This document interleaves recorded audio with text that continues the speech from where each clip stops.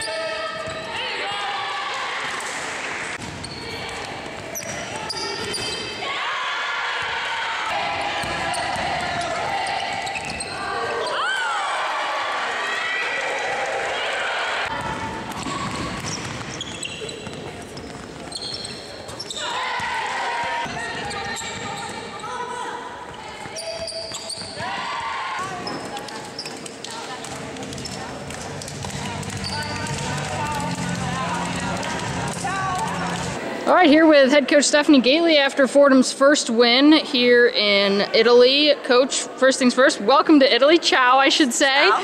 And uh, first time the team was on the court here um, as a whole, just what did you see from them overall? I mean, again, anytime you play the first game, you expect there's going to be some rust. I, I was proud of the kids. They're, they've got great energy, and they're really, really unselfish. I mean, G's been out for a while, Haley's been out for a while. I saw a lot of great things from our freshmen. I thought Asnate Famina did a terrific job. So a lot of positive things. Now you, this one's first. Obviously, we got a lot more than just basketball over here, and we got a lot of fun stuff uh, left to do the rest of the week. But just what are you looking forward to um, from the team? What are you looking to see in these next four games before we head back to the states? Just you know, learning from our mistakes. You know, just you know, we'll go over a couple things that today. You know, like I just thought we, you know, it's easy to let up a little bit defensively, and I just think we have to understand the importance of making sure we don't put ourselves in foul trouble too early. We did that, I think, in the third quarter. We picked up early fouls, and I don't like to give up easy points at the foul line. So just correcting a few things and just getting better every day. Coach, we're headed to Venice tomorrow. Are You excited? I'm excited. Really excited. Here with senior Asnate Famina, big win for Fordham in the first game. Asnate, first things first, just how fun was it to, to get out here with your teammates and play the first game?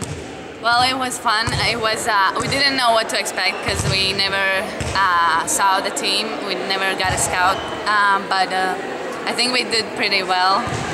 And uh, that's the first game. We can assume that that's going to be the other games as well. So um, we got to prepare for the next games. But it was fun to play in Italy with the team, and uh, the team can see like how it is to play in Europe.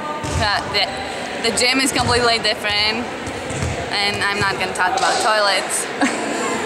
and. Uh, speaking of that's a little bit off of the court here. You guys we did a lot of cool things the first couple days.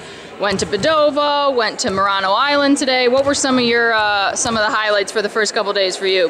Well it's awesome. It's always awesome to travel the world to see different cultures uh, everything. It's just uh, nice to be in uh, other places. And uh, Padova was beautiful and Murano Island was even more beautiful and tomorrow we are going to Venice so I'm super excited. All right, thanks Asnate. Thank you.